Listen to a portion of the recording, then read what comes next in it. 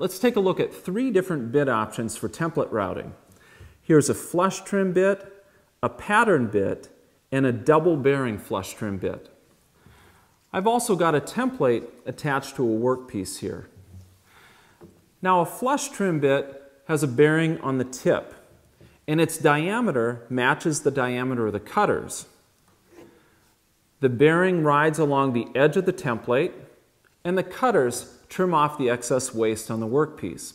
It's probably the most common template routing bit.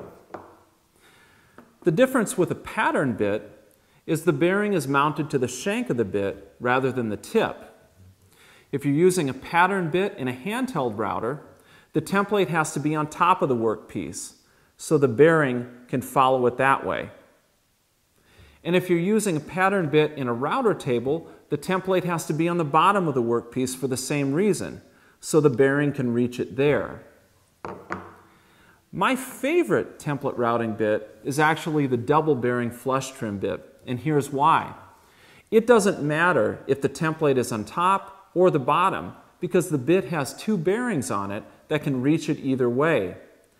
If the template is on the bottom, you can raise the bit and use the bottom bearing to follow the template. And if the template is on top, you can lower the bit to use the top bearing to follow the template instead.